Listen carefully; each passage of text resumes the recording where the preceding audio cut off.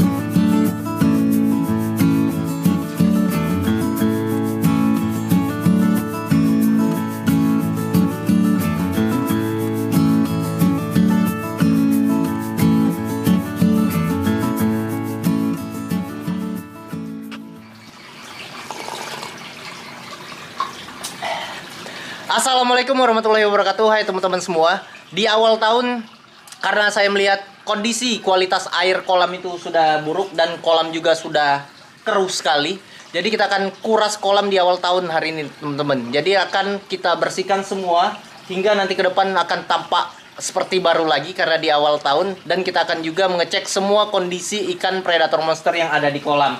Tidak terlepas juga anakan ikan toman monster yang akan saya beri kepada teman-teman semua jika uh, sudah mencapai 100.000 subscriber atau kita kasih giveaway. Kira-kira seperti apa kondisi ikan yang ada di kolam pada awal tahun nanti kita akan cek sama-sama.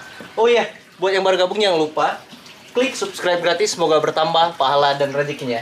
Tuh, untuk anakan ikan toman monster sudah ada di seberang sana. Sudah lumayan besar kira-kira 30 cm nanti kita akan cek setelah kolam sudah mulai surut. Oke? Kita tunggu dulu. Kita persiapkan alat-alatnya yaitu bak, saringan, uh, lap, hingga sikat untuk membersihkan dinding-dinding dasaran kolam ketika nanti sudah keruh. Oke? Okay?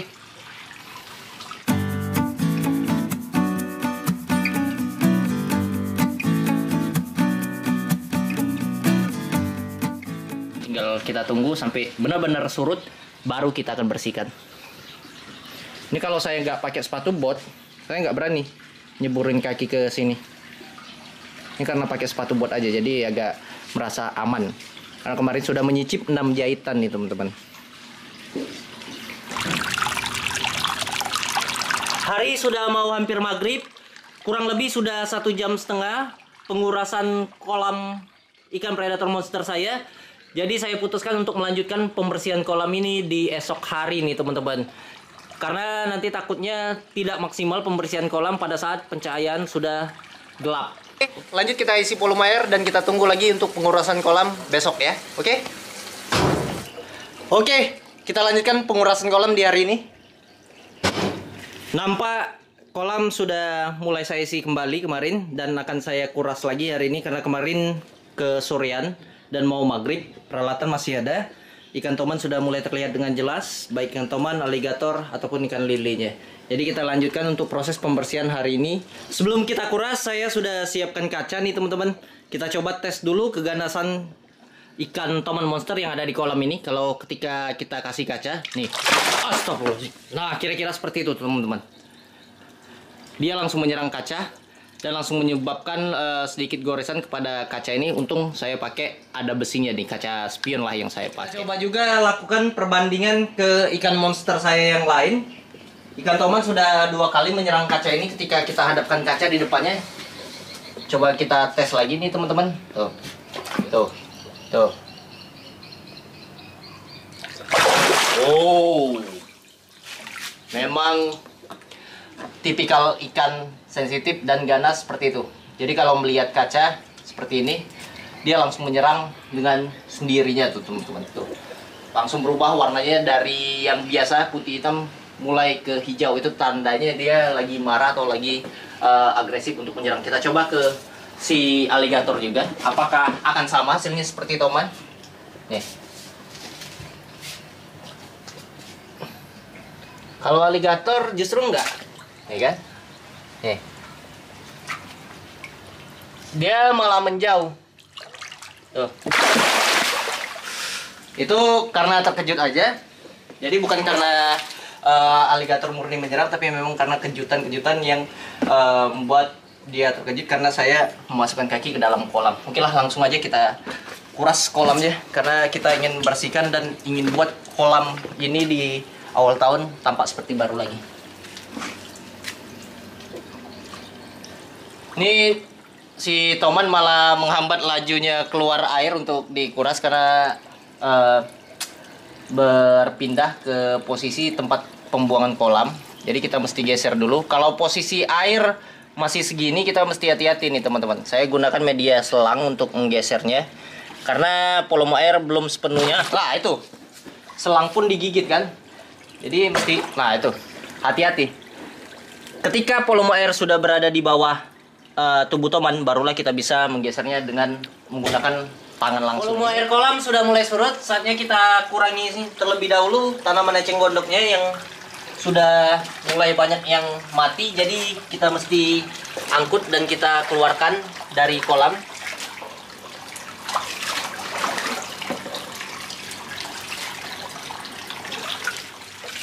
ya kita coba pel dulu lantai kolam ikan predator monster saya karena di bagian sini sudah sangat keruh sekali ini teman-teman.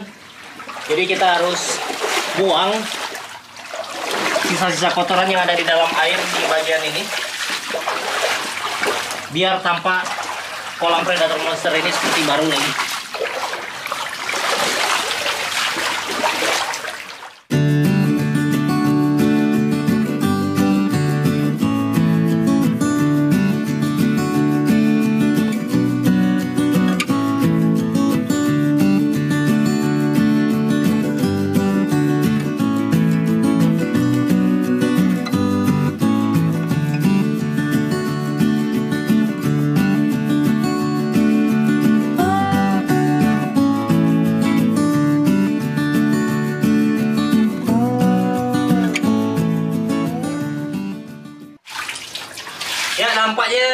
bagian sebelah sini sudah mulai bersih nih teman-teman untuk kolamnya.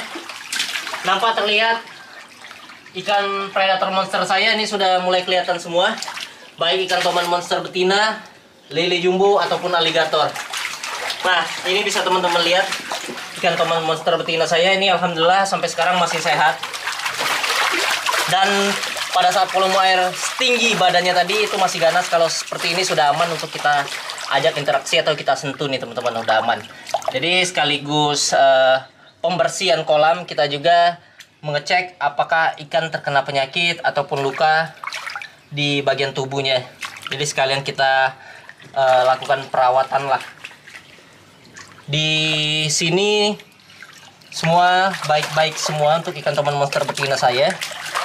Mulai dari bagian kepala tubuh hingga ekor semua tampak mulus nih teman-teman. Baik sirip dorsal vektoral maupun anal juga bagus semua. Nggak ada terkena penyakit alhamdulillah. Aligator pun demikian masih aman-aman saja dan sehat. Karena saya yakin uh, di dalam kolam ini nggak ada yang mampu untuk melukai tubuh atau memberikan demik kepada si aligator. Sedangkan lili dapat luka mungkin ini habis be akibat benturan ataupun serangan saya juga kurang tahu inilah lili yang mau saya kasih kepada teman-teman kemarin. Kalau memang ada yang mau silahkan DM Instagram saya jadi Imam Noer ya. Bisa dijemput langsung. Nah lanjut kita cek untuk kondisi anakan ikan toman monster yang rencana akan saya beri untuk giveaway. Ini memang belum dibersihin dan sengaja memang saya nggak bersihin kita bersihin ininya aja lah daun-daunan Nah ini untuk kondisi anakan ikan toman monster saya sudah lumayan besar nih teman-teman. Sudah masuk di size kisaran 30 sentian. Nih. Ya kan? Nah, ini nih. Cepat sekali menurut saya ini sudah lumayan bagus pertumbuhannya karena dalam jangka waktu setahun bisa mencapai uh, size di 30 sentian.